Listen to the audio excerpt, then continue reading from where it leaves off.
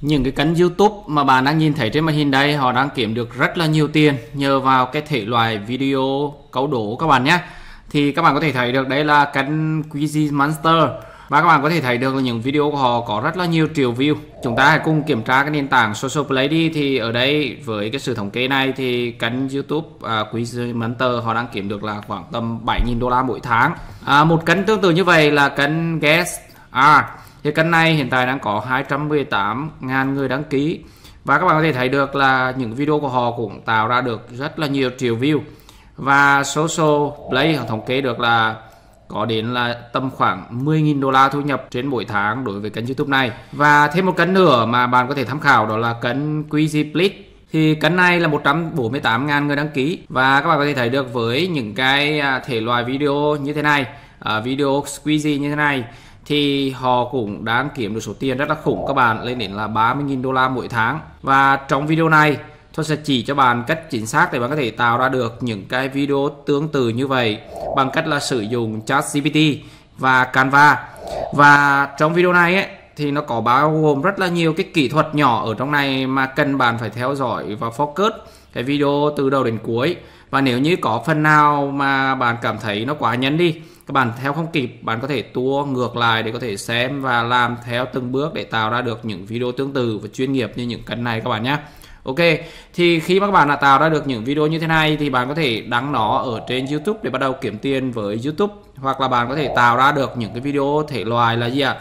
Theo dạng đứng khổ của điện thoại để bạn có thể đăng ở trên các cái nền tảng à, YouTube Short hoặc là TikTok à, uh, US để các bạn có thể kiếm được tiền mà bằng cái quỹ sáng tạo của TikTok hoặc thậm chí bạn có thể đăng nó lên Facebook Reel để có thể kiếm được tiền nhờ vào việc là kiếm tiền ở trên nền tảng Facebook. Thì nếu như các bạn thấy cái chủ đề hôm nay là thú vị thì nhấn vào nút like video. Và nếu như bạn chưa biết kênh của Hoàng Đồng Thuật thì nhấn vào nút subscribe và nhấn rung chuông để đón xem những video mới nhất về hướng dẫn các bạn kiếm tiền online và AI tool các bạn nhé. Ok, chúng ta sẽ cùng bắt đầu ở đây thì bước đầu tiên trong cái quy trình này đó chính là chúng ta sẽ sử dụng ChatGPT. Thì trong video này mình sẽ yêu cầu ChatGPT tìm cho mình 10 cái quốc gia và kèm theo đó là 10 gợi ý cho cái quốc gia đó và chia cái bảng này thành ba cột. Mỗi cột như vậy thì cột đầu tiên á, nó là số thứ tự và cột thứ hai đó chính là cái gợi ý của những cái đặc sản ở trong cái quốc gia đó những cái tiêu biểu những cái nổi bật ở quốc gia đó. Mà khi người ta xem vào ấy người ta có thể đoán được là nó nằm ở quốc gia nào các bạn nhé ok, tiếp theo nữa là cột thứ ba. Thì cột thứ ba đây thì mình sẽ xuất hiện cái tên của của cái quốc gia đó, được chưa? Thì khi mình hỏi như vậy thì ChatGPT cho mình một cái câu trả lời gồm một cái bộ bảng tính như thế này. Ok, thì đấy chính là cái câu mà mình hỏi ChatGPT. Bạn có thể hỏi ChatGPT là 10 cái bản đồ chẳng hạn, đúng không ạ? Hoặc là 10 cái địa điểm du lịch chẳng hạn, rất là nhiều cái ý tưởng ở trong cái loài chủ đề này bạn có thể tham khảo và làm theo. Ok, đó là bước thứ nhất. Bước thứ hai ở trong cái quy trình này đó chính là chúng ta sẽ sử dụng Canva. Bạn cần phải có một cái tài khoản Canva Pro để có thể à, sử dụng full tính năng ở trong quy trình này các bạn nhé. Ở trên Canva thì chúng ta sẽ truy cập vào cái à, trình tạo video ở trên Canva. Nếu bạn bắt đầu với video short, bạn có thể lựa chọn video dễ dàng là 1080 x 1920. Ở đây mình bắt đầu với dạng là video dài long form, mình sẽ lựa chọn là 1920 1080 các các bạn nhé. Ở đây chính là khổ video 169. Chúng ta sẽ nhập vào video. Như vậy là chúng ta đã truy cập vào được video. Đầu tiên thì chúng ta sẽ chọn à, một cái hình nền để làm cho cái video squeezy chúng ta. Ở đây mình sẽ truy cập vào tab video. Ở tab video thì mình sẽ chọn là blue background. Thì chúng ta sẽ có rất là nhiều hình nền blue để chúng ta lựa chọn ở trong cái thể loại video này. Ở đây mình sẽ lựa chọn cái loại hình nền này được chưa ạ? Rồi, sau đó mình sẽ nhấn vào chuột phải và chọn vào set video as background. Tiếp theo À, các bạn có thể thấy được là video này nó đang có chiều dài là 18 giây nhưng mình muốn cái video của mình chiều dài 12 giây thôi nên mình sẽ kéo nó về 12 giây. Được chưa rồi tiếp theo nữa là chúng ta cần phải có một cái khung để đưa cái hình lá cờ vào đây được chưa thì đây chúng ta sẽ truy cập vào tab element và search vào gì ạ? Rectangle và with border. À, một cái hình chữ nhật nhưng mà với một cái khung ở bên ngoài các bạn ở đây thì mình sẽ cuộn chuột xuống và chọn vào frame. Với cái hình thức frame này thì các bạn có thể thay thế một hình ảnh bất kỳ vào cái khung frame này các bạn nhé. Ở đây mình sẽ chọn cái hình này. Nó đang có một cái khung màu vàng ở bên ngoài. Mình zoom và đưa nó về vị trí layout mà mình mong muốn. Tiếp theo, mình sẽ lựa chọn vào tab test và ở đây mình sẽ nhập một cái heading. Ở đây mình sẽ nhập là which country vì chủ đề trong video này mình lựa chọn đó chính là chủ đề về những lá cờ của các quốc gia. Và khi người xem vào thì họ sẽ đoán những lá cờ này được chưa? Đoán những cái cái thước phim này xem cái tỷ lệ à, đoán trúng các cái quốc gia của họ cái kiến thức của họ là được bao nhiêu phần trăm các bạn nhé. Ở đây thì chúng ta có thể format và chọn phóng chữ cho à, cái dòng tiêu đề này. Mình sẽ chọn phóng chữ là Oswald và sau đó mình sẽ lựa chọn à, kéo lớn lên một chút xíu các bạn nhé. Rồi ở đây thì mình sẽ lựa chọn là effect. Ở effect thì mình sẽ lựa chọn độ bóng cho đoàn test này. Việc độ bóng thì mình sẽ lựa chọn độ bóng là gì ạ? Là màu đen các bạn nhé. Rồi tiếp theo nữa ở trên này thì các bạn chọn độ bóng offset thì chúng ta sẽ direct chúng ta sẽ offset à, mình vào được chưa đó cho nó nổi cái hình của chúng ta lên blur lên một chút xíu là như vậy là cái chữ của chúng ta đã nổi lên ở trên cái màn hình này rồi. Tiếp theo nữa các bạn truy cập vào element. Và ở element này chúng ta sẽ tắt cái tắt à, clear này đi. Chúng ta sẽ chọn một cái shape. Rồi chúng ta sẽ truy cập vào shape và chọn uh, circle. Rồi ở circle này chúng ta sẽ format à, nó là màu đen này. Rồi tiếp theo nữa chúng ta sẽ tạo cái viên cho cái circle này. Mình muốn viên của nó là màu vàng thì ở đây chúng ta sẽ truy cập vào cái tab border style. Và ở đây chúng ta sẽ chọn border weight ở mức là tầm khoảng là 6 đi. Rồi sau đó chúng ta sẽ nhấp chuột lên cái phần border color. Ở đây chúng ta sẽ chọn cái màu cho cái border này bằng cách là chúng ta chọn màu màu vàng đi. Mình thấy là cái viên này nó hơi nhỏ. Mình sẽ truy cập vào border style và kéo nó lên là 8 nhấn enter.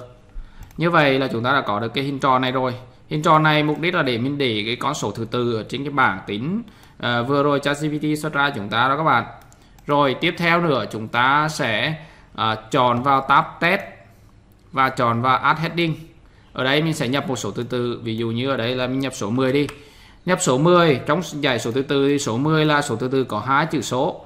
Và trong cái danh sách ở trên ChatGPT chúng ta thì chúng ta sẽ thấy được là nó có từ 1 đến 10 đúng không? Chỉ vì vậy nên là khi chúng ta chọn 10 thì những cái số 9 hoặc là đến 1 1 đến 9 thì nó sẽ tự động nó nằm ở trong cái khoảng cách của 10 này luôn các bạn nhé. Rồi ở đây mình sẽ zoom nhỏ số 10 này lại vừa khít với cái vòng tròn này. Rồi chúng ta sẽ di chuyển bằng à, phím mũi tên ở trên bàn phím để vào vị trí mà chúng ta mong muốn. Ở đây chúng ta có thể format à, cái kiểu chữ bằng chữ uh, mình muốn là chữ của nó là chữ Osgon luôn. Rồi được chưa ạ? Và cái chữ này mình sẽ cho nó màu vàng luôn các bạn. Rồi như vậy là mình đã có số 10 vần tròn 10 ở đây, mình sẽ tạo thêm một cái tab, mà chữ nữa là tab 2 có nghĩa là gợi ý. Thì ở đây mình sẽ chọn vào cái tiêu đề này, nhấn Ctrl D, hoặc là bạn có thể nhấn chuột phải vào và nhấn vào copy và paste hoặc là duplicate cũng được các bạn nhé. Ở đây mình sẽ nhấn vào duplicate, kéo nó xuống và đưa nó vào đúng vị trí ở đây mình sẽ nhập là hai hai chấm. Dạ. Rồi sau đó chúng ta sẽ cuồn qua. Tiếp theo nữa là chúng ta sẽ tiếp tục duplicate à, hai này và sẽ nhập một cái dòng ký tự ở đây. Dòng ký tự này chính là cái phần mà chúng ta nhận ở trong căn uh, ChatGPT đó các bạn. Ở đây mình sẽ nhập là sushi các bạn nhé.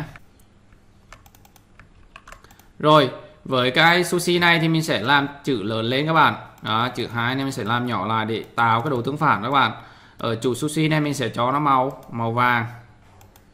Rồi ở which country flag is, mình cũng sẽ cho là màu vàng luôn các bạn. Đấy, nó sẽ nổi lên. Được chưa? Rồi ở quốc gia này thì mình sẽ tìm ở tab element và trở lại và chọn vào Japan flag, lá cờ của Nhật Bản đó các bạn. Rồi mình sẽ rê chuột đến tab photo ở đây có rất là nhiều cái lá cờ của các quốc gia đúng không ạ? Thì chúng ta sẽ chọn cái lá cờ mà chúng ta mong muốn. Ở đây mình sẽ chọn một cái hình ảnh liên quan đến lá cờ của Nhật Bản đi. Mình sẽ rê chuột và đưa cái lá cờ đó vào cái khung rectangle hồi nãy mình đưa vào các bạn. Tiếp theo nữa, chúng ta sẽ có thân phân nữa, đó chính là chúng ta sẽ nhấp đúp vào chữ sushi này, chúng ta sẽ duplicate. Và ở đây là thân phần về tên của cái quốc gia được chưa? Thì ở đây mình sẽ nhập là Nhật Bản, mình sẽ copy chữ Nhật Bản ở bên country. Và dán vào đây. Rồi mình không muốn cái hình chữ quốc gia này à, nó lớn và nó à, nằm lọt lỏng như thế thì mình sẽ cho nó một cái viên màu đen ở bên ngoài. Ở đây các bạn sẽ chuột vào effect. Và chúng ta sẽ không chọn shadow chúng ta sẽ chọn là background. Ở đây chúng ta sẽ chọn background màu đen. Màu vàng nằm ở trên nền màu đen sẽ rất là nổi bật các bạn tiếp theo nữa chúng ta sẽ quay trở lại và chọn vào round net. ở round net này chính là cái đường tròn ở bên ngoài cái vân tròn chúng ta sẽ của nó lại là nó vừa vừa tròn thôi các bạn. Tầm 20 hoặc là là là 18 là ok rồi. À, spread này chính là cái khoảng cách offset với cái chữ này. Chúng ta sẽ kéo nhỏ nó lại. Rồi mình thấy cái tên này nó cũng khá là lớn. À, mình sẽ cho nhỏ tên một chút xíu. Như vậy là ok. Được chưa rồi như vậy là mình đã có tên của quốc gia và chúng ta đã có các lá cờ. Tiếp theo nữa là mình muốn à, một cái slide như vậy cái người xem họ chỉ có 5 giây để họ đoán cái tên quốc gia thôi. Ở đây mình sẽ tạo thêm một cái đồng hồ điểm ngược được chưa thì ở đồng hồ điểm ngược thì chúng ta sẽ truy cập vào tab video và chúng ta sẽ tắt à, cái blue background này đi và chúng ta sẽ search là 5 second countdown các bạn nhé. Đếm ngược 5 giây đó các bạn. Rồi các bạn có thể cuộn xuống và tìm cái file second countdown ở đây có khá là nhiều à, cái mẫu đồng hồ khác nhau. Các bạn có thể tùy chọn. Hiện tại mình sẽ làm ví dụ trong video này đó chính là cái mẫu đồng hồ này đi. Chúng ta sẽ đưa ra. Các bạn để ý thấy đấy là một cái video và nó à, đang à, điểm từ 5 đến 0 tức là 5 giây đó các bạn và mình không muốn là cái hình chữ nhật này nó hiển thị à, toàn bộ cái khung của mình đâu.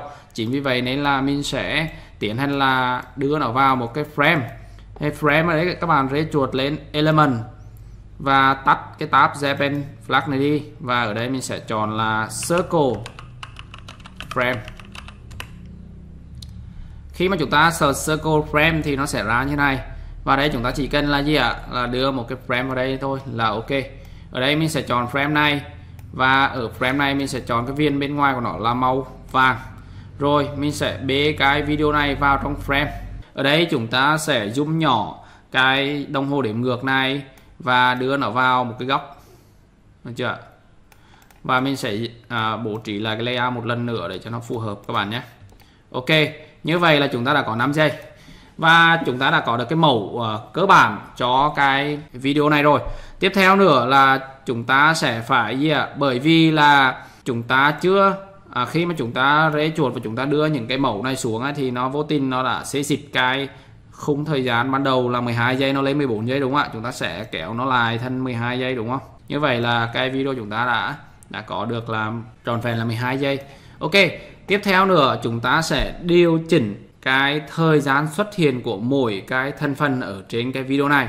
Đầu tiên mình thấy được là cái chữ which country flag it is và cái chữ này à, cái số này thì nó sẽ xuất hiện từ ban đầu. Còn cái hai này và cái lá cờ này mình mong muốn là khoảng 0.5 giây thì nó mới xuất hiện hai cái dòng chữ này.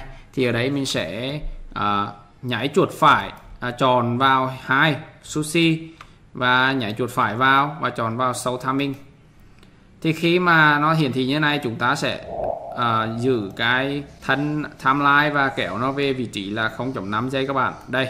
Và ở đây chúng ta sẽ chỉ cần là rẽ chuột xuống cái timeline của cái chữ sushi và hai này chúng ta sẽ kéo nó về vị trí xuất phát là 0.5 giây. Ok.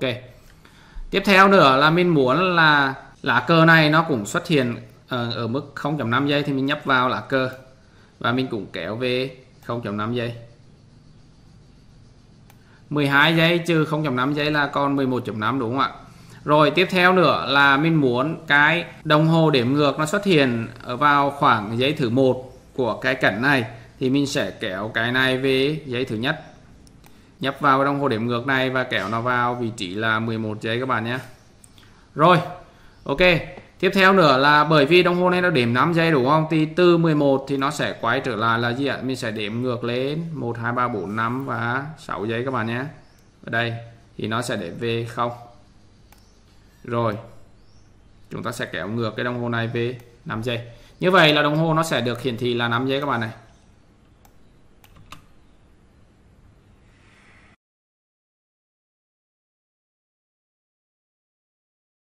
chúng ta sẽ cùng xem lại các bạn nhé. 5 4 3 2 1 0 Ok như vậy là chúng ta sẽ kéo đúng à, đến 6 giây là nó sẽ hoàn tất à, quá trình là 5 giây các bạn. Rồi tiếp theo nữa là sau khi mà đồng hồ này nó hết thời gian đếm thì sao ạ? À? thì cái chữ Japan này nó xuất hiện đúng không? Thì chúng ta sẽ nhấp vào chữ Japan và kéo nó về vị trí để chúng ta nó cho nó xuất hiện rồi như vậy là cái thời gian xuất hiện của các cái vật thể nó đã sống rồi các bạn chúng ta sẽ cùng xem lại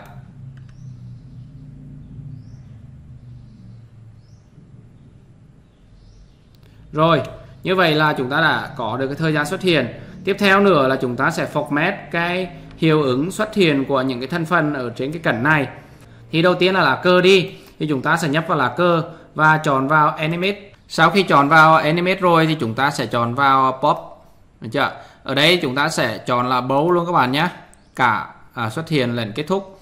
À, hai và sushi này cũng vậy, chúng ta sẽ à, chọn vào hai cái này và chọn vào animate sau đó các bạn chọn vào vì ở đây mình sẽ chọn vào face đi rồi tiếp theo nữa là cái đồng hồ điểm ngược này mình cũng sẽ chọn vào nó và chọn vào pop tiếp theo nữa là à, mình sẽ chọn cái chữ gia tăng này xuất hiện giống như là burst đi rồi à, chúng ta sẽ cùng xem lại một lần nữa các bạn nhé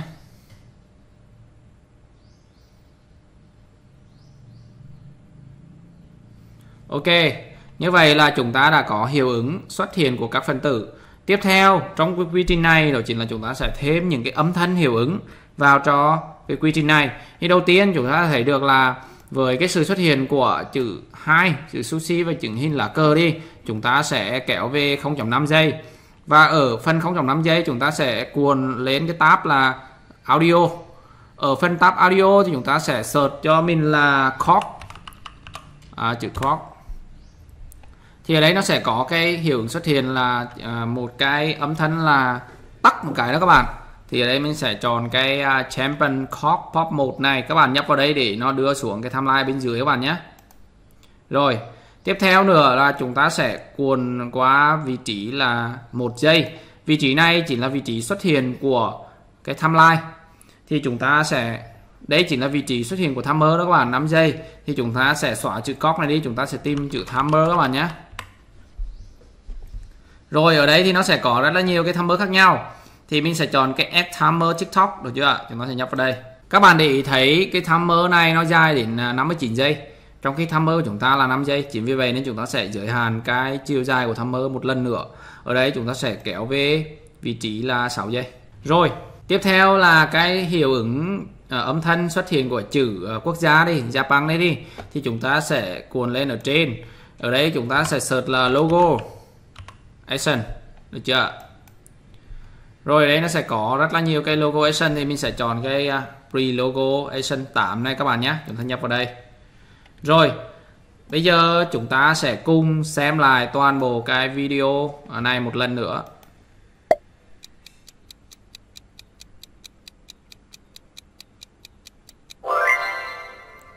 Ok, như vậy là chúng ta thấy được là cái hình ảnh cũng như là cái hiệu ứng xuất hiện và âm thanh nó đã khớp rồi đúng không ạ? Thì trong trường hợp này chúng ta đã có được một cái hình ảnh như thế này rồi. Thì bây giờ các bạn làm bước này cho mình đó chính là chúng ta hãy xóa hết toàn bộ cái thành phần này đi được chưa? Chúng ta sẽ à, bôi toàn bộ cái này chọn toàn bộ và nhấn vào delete để xóa. Sau đó các bạn nhấn vào share và tiến hành download cái video này về. Chút xíu nữa mình sẽ giải thích tại sao chúng ta xóa đi và chúng ta tải cái video mà không có các cái thành phần trên này về các bạn nhé. Rồi sau khi mà chúng ta đã tải về rồi thì chúng ta sẽ tiến hành nhấp vào cái slide này và tiến hành nhấn vào nút Ctrl Z hoặc là nút Undo ở góc ở trên à, thân thân ba này các bạn này. Chúng ta sẽ nhấn vào Undo. Rồi, ở đây các bạn nhấp vào nút à, tải lên các bạn. À, bây giờ chúng ta sẽ tải lên cái video mà chúng ta vừa download về đó các bạn thì chúng ta sẽ nhấn vào upload file và tải lên sau khi tải lên chúng ta sẽ có cái video 12 giây như thế này và chúng ta sẽ chọn vào video các bạn nhé. Như vậy là video đã ra ngoài màn hình rồi. À, chúng ta sẽ nhảy chuột phải vào và tiến hành là thay thế cái background à, như cụ hiện tại. Chúng ta sẽ thay thế.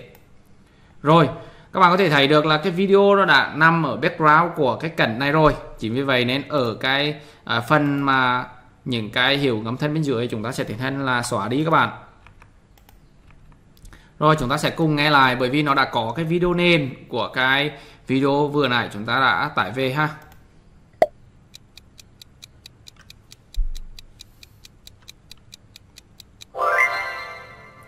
Ok, như vậy là chúng ta đã có được cái slide đầu tiên.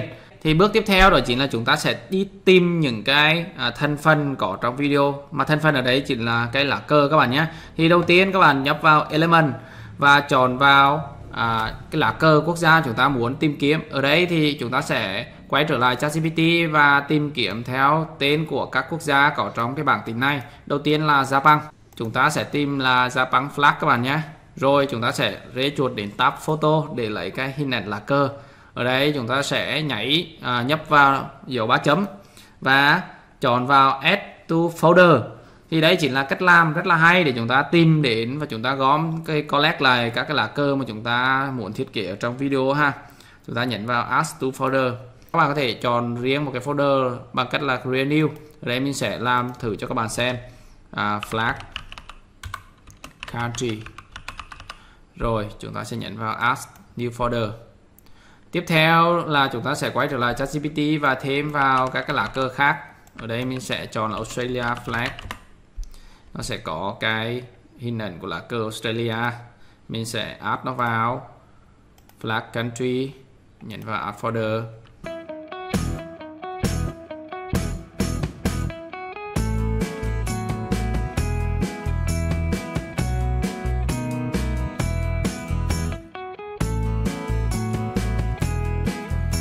Ok, thì sau khi mà các bạn đã tìm được những cái lá cờ và đưa vào cái folder mà chúng ta mong muốn rồi thì chúng ta sẽ quay trở lại tính năng Book Creator. Thì trên tính năng Book Creator đối với các bạn ờ, là sử dụng ngôn ngữ tiếng Anh thì chúng ta sẽ chỉ cần là search là Book Creator ở phần ứng dụng các bạn nhé, app. Chúng ta sẽ search là Book. Thì nó sẽ ra chúng ta các bạn. Enter. Thì nó sẽ ra Book Creator. Hoặc là đối với các bạn sử dụng ngôn ngữ là tiếng Việt thì chúng ta sẽ à, gõ là tạo hàng loạt các bạn nhé. Tạo hàng loạt thì nó cũng sẽ ra bug creator cho chúng ta. Nhưng mà tên của nó không phải là bug creator mà nó là tiếng Việt tạo hàng loạt các bạn nhé. Ok mình sẽ chọn vào bug creator. Sau đó các bạn nhấp vào enter data manually. Ở bước này chúng ta sẽ tiến hành clear table này. Nhấp chuột vào phần chữ T này và quay trở lại ChatGPT.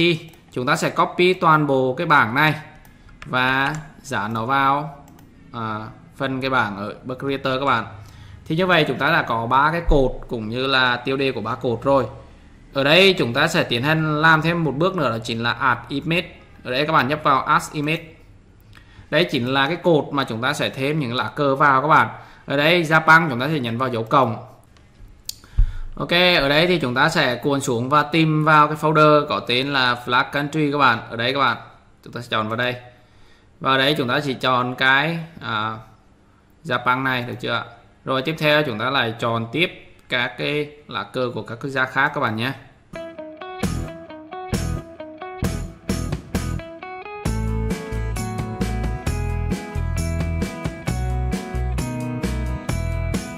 Rồi sau khi các bạn đã chọn xong lá cờ rồi ấy thì chúng ta sẽ nhấn vào don. rồi các bạn thì thấy được là ở đây chúng ta sẽ có được bốn cái thuộc tính number, hai country và image.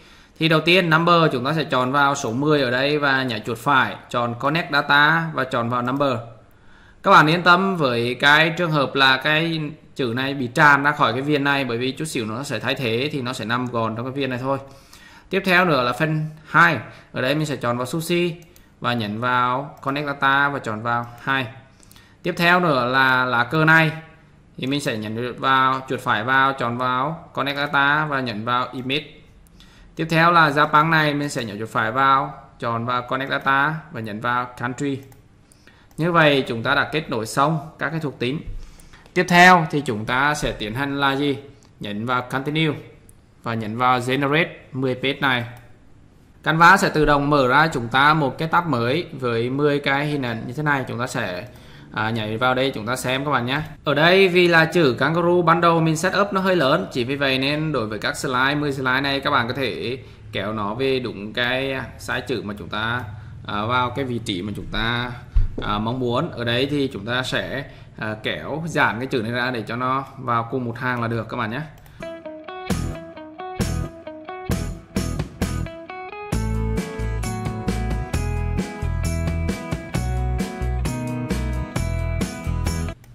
Rồi, như vậy là chúng ta đã có được cái phần 2 ok rồi các bạn. Ở phần này thì chúng ta có thể làm chữ nhỏ lại hoặc chữ lớn lên tùy các bạn nhé. Ok, như vậy là chúng ta đã có được à, 10 cái slide với 10 quốc gia mà chúng ta đang cần để làm rồi. Bây giờ chúng ta để mà tạo ra được một cái video hoàn chỉnh ở trên YouTube, chúng ta sẽ cần một cái phần intro và một cái phần outro nữa. Chính vì vậy nên đây chúng ta sẽ tạo ra một cái slide mới. Ở slide mới này chúng ta sẽ đưa nó về đầu và ở phần này chúng ta sẽ thêm một phần intro vào cho nó. Ở đây các bạn nhập vào design và chọn vào intro, hoặc là chúng ta sẽ chọn vào welcome. Ở đây mình sẽ chọn vào welcome. Thì chúng ta sẽ có được khá là nhiều cái mẫu welcome ở đây để chúng ta lựa chọn để đưa vào video, đúng không nào? Ở đây mình sẽ chọn là cái mẫu này đi chẳng hạn. Đó chúng ta sẽ đưa mẫu này vào.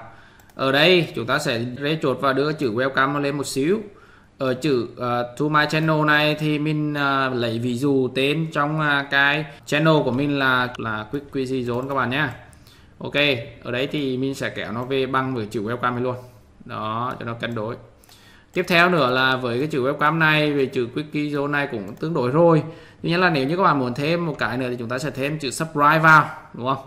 Ở đây chúng ta sẽ nhấn vào element chọn vào subscribe thì nó khá nhiều cái mẫu subscribe chúng ta. Các bạn có thể lựa chọn và đưa vào đây.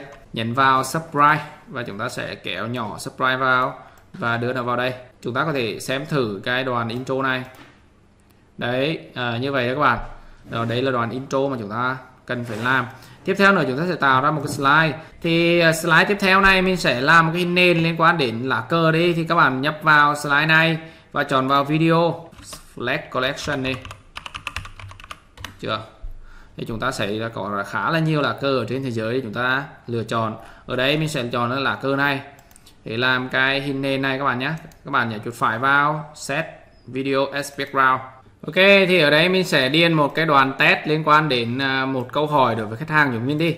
Ở đây chúng ta sẽ nhấn vào Google Sheet và chọn vào tiếng Việt và nhấn là bạn có thể đoán được quốc gia, tên quốc gia khi nhìn thấy lá cờ của họ không? Được chưa? Chúng ta sẽ nhấn vào à, cái Google dịch để nhờ nó chuyển thành tiếng Anh cho chúng ta. Can you guess the country name when you see the flag? Chúng ta sẽ copy cái này. Và qua Canva các bạn nhé. Ở đây chúng ta sẽ dán vào cái phần chữ này.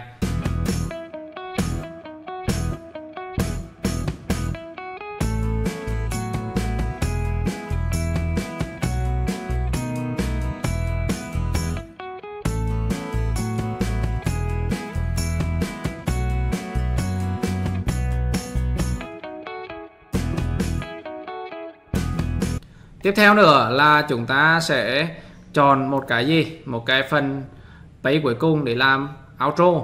Ở phần outro này chỉ là cái màn hình kết thúc của video chúng ta đấy các bạn. Nó sẽ kéo dài là 7 giây các bạn nha. Màn hình kết thúc tối thiểu là 7 giây. Rồi, tiếp theo nữa là chúng ta sẽ quay trở lại design và chọn vào end screen các bạn. End screen. Ok thì có rất là nhiều cái end screen ở đây thì chúng ta lựa chọn các bạn nhé. Ok thì mình sẽ chọn một cái end screen để làm cho cái video này. Ví dụ như là end screen này đi. Được chưa? Rồi chúng ta sẽ có 7 giây. Rồi phần còn lại của các cái slide này thì chúng ta sẽ làm gì ạ? Chúng ta sẽ thêm cái hiệu ứng chuyển cảnh cho nó bằng cách là chúng ta nhập vào add transition nhấn vào color white à, ờ, ở đây thì mình sẽ chọn một cái mẫu color white nhất định thôi. Mình sẽ chọn là color white này và mình sẽ apply between on pay các bạn nhé. On pay. Rồi chúng ta sẽ chọn vào đây. Rồi chúng ta sẽ thấy được là nó sẽ như thế này các bạn này. Đó.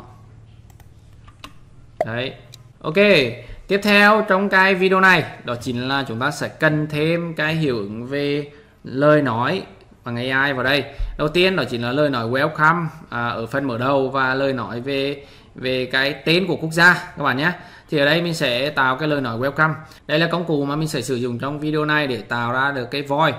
Các bạn có thể sử dụng công cụ khác tùy các bạn thì nếu các bạn đã đăng ký Flicky AI rồi chúng ta sử dụng Flicky AI là tiền lợi nhất sau này chúng ta có thể sử dụng Flicky AI để tạo ra những cái video short video long form à, nhờ vào cái công nghệ trí tuệ nhân tạo ở trên Flicky AI các bạn ha ở đây chúng ta nhấn vào login rồi, truy cập vào login thì chúng ta sẽ có được cái giao diện như thế này. Sau đó, các bạn nhấn vào file và chọn vào new file. Ở phần new file thì mình sẽ chọn vào audio only. Ở đây, chúng ta sẽ chọn là language là language là English. Và chúng ta sẽ chọn file name là flag. Nhấn vào submit. Thì chúng ta sẽ có cái giao diện để chúng ta tạo cái file voice audio của chúng ta rồi ở đây thì mình sẽ chọn cái à, cái dòng nói. Ở đây là rồi chúng ta sẽ thấy được là James đi. Fleeky helps you create audio and video content. You rồi ở đây thì mình sẽ chọn là James. Làm ví dụ ở trong video này mình sẽ click vào James. Fleeky sau khi chúng ta chọn click vào James rồi chúng ta sẽ nhấn vào select. Ở đây mình sẽ gõ cái đoạn mở đầu là Welcome to Quick Quiz Zone In today's video, can you get the name of the D country by their flag in 5 seconds? Đó, chúng ta sẽ gõ cái đoạn mở đầu này. Tiếp theo mình sẽ cộng tiếp cái new send. Ở cái phần new send này thì chúng ta sẽ gõ tên lần lượt các quốc gia mà chúng ta muốn nó đọc tên đó các bạn. Ở đây mình sẽ quay trở lại chat GPT và chọn vào Japan. Đó, sau đó chúng ta lại mở một cái tab mới được chưa? Rồi ở đây chúng ta sẽ À, copy cái tên Australia dán vào các bạn nhé. Rồi chúng ta lại tiếp tục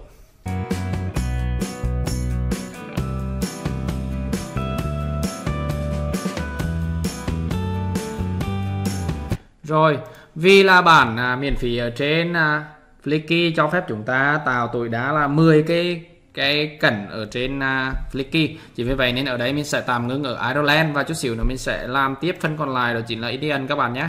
Ok, sau khi mà chúng ta đã thêm xong à, cái dòng đọc thì chúng ta sẽ tiến hành tải cái dòng đọc về từ Flicky các bạn nhé. Các bạn nhấn vào download ở góc trên bên tay phải của mỗi cái cảnh các bạn nhé. Chúng ta nhấn vào download và chúng ta sẽ tiến hành download về chúng ta sẽ tiến hành download về sau đó chúng ta sẽ tiến hành tải các cái phần mà chúng ta đã download lên Canva thì ở đây chính là cái mục mà mình đã tải lên ở trên Canva. Với số thứ tự là đầu tiên là chính là cái section của welcome này.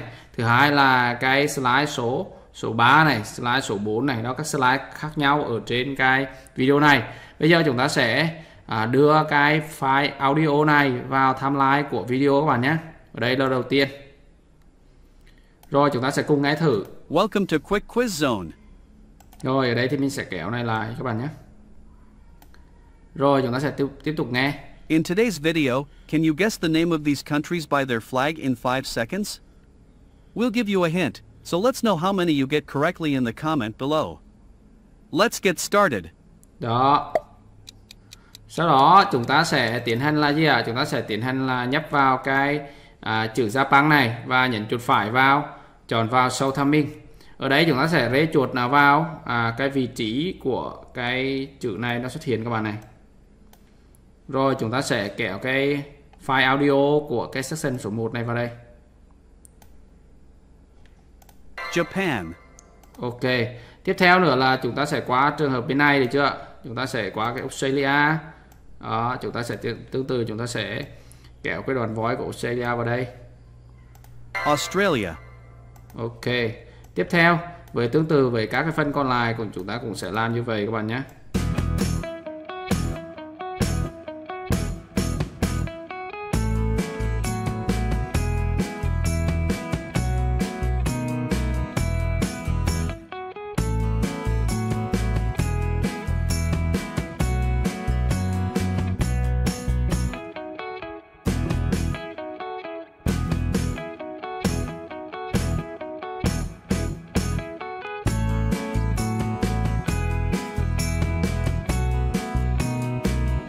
Ok, sau khi mà chúng ta đã thêm hết toàn bộ voi rồi thì chúng ta sẽ tiến hành là tải cái video này về các bạn nhé.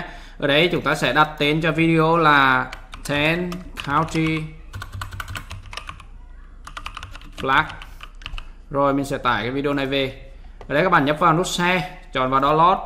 Ở đây chúng ta sẽ nhấn vào chọn vào file mp4 phần file mp4 này chúng ta sẽ chọn vào quality là 1080 pixel và không cần phải nhấn vào download page separator đâu các bạn bởi vì ở đây chúng ta đã tạo sẵn cái video ở trên Canva hoàn thiện rồi các bạn nhé chúng ta sẽ chọn vào on page và nhấn vào download Welcome to Quick Quiz Zone. In today's video, can you guess the name of these countries by their flag in 5 seconds? We'll give you a hint, so let's know how many you get correctly in the comment below. Let's get started.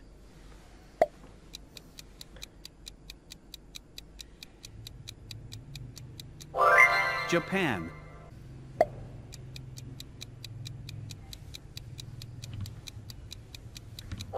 Australia.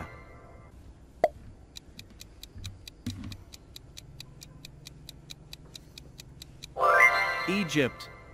Ok, perfect. Như vậy là chúng ta đã tạo ra được một cái video uh, YouTube hoàn chỉnh về chủ đề quiz rồi. Uh, tuy nhiên là trường hợp nếu như các bạn muốn phát triển cái chủ đề này ở trên các cái nền tảng ờ, Instagram hay Facebook Reel hoặc là à, TikTok thì chúng ta hoàn toàn có thể làm được khi chúng ta đã có được cái video dài như thế này.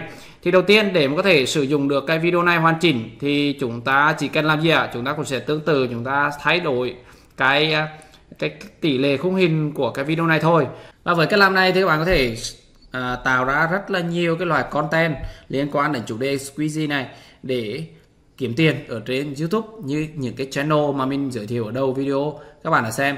Các bạn có thể tạo ra những cái channel à, bắt đầu kiếm tiền ở trên nền tảng TikTok US và nếu những cái video nào mà ở trên YouTube nó đã viral rồi nó đã có được cái sự đón nhận của khách hàng thì mình tin chắc rằng ở trên TikTok nó cũng sẽ được đón nhận từ phía người xem. Và đấy chính là một cái cách để chúng ta làm content bằng chính thực lực của chúng ta để tạo ra được những content chất lượng mà không lo bị đái cân hay là không lo bị uh, spy gì cả. Bởi vì đây chính là những cái mà chúng ta tạo ra từ tay chúng ta tạo ra các bạn nhé. Và nếu như các bạn thấy cái chủ đề uh, video hôm nay nó rất là hữu ích với các bạn thì nhớ dần 3 giây nhấn vào nút like video uh, comment cái cảm nghĩ của bạn sau khi các bạn xem xong video này. Và nếu các bạn có bất kỳ một cái thể loại video nào mà cần thuật mô phỏng lại ấy à, comment bên dưới phần bình luận của cái video này để mình có thể sắp xếp mình ra video hướng dẫn cho các bạn. Và nhớ subscribe kênh để đón xem những video mới nhất của kỹ thuật ra mắt. Thuật xin chào và hẹn gặp lại các bạn ở trong các video tiếp theo.